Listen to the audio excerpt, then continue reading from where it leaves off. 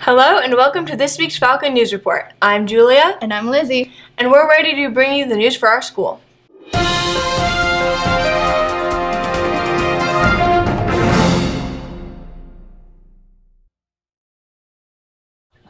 The variety show is this Friday at 6:30 p.m. Come on out and watch your fellow peers showcase their special talents.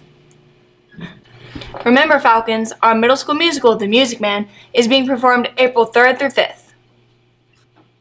Lutheran Schools Week is quickly coming up and is from March 2nd to March 6th. So get ready for a fun week. Monday is Sports and Dance Day. Tuesday is STEAM Day. Wednesday is Pajama and Movie Day. Thursday is Book Character Day. And Friday is Grandparents' Day and the Bible Bee. Along with Lutheran Schools Week, the book fair is also coming up. So prepare for a great selection of books. The end of the third quarter is approaching, March 13th. So turn in your homework and have fun on your half day.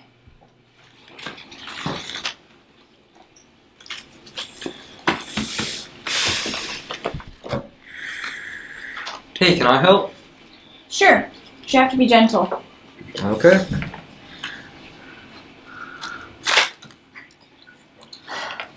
It's okay. I forgive you.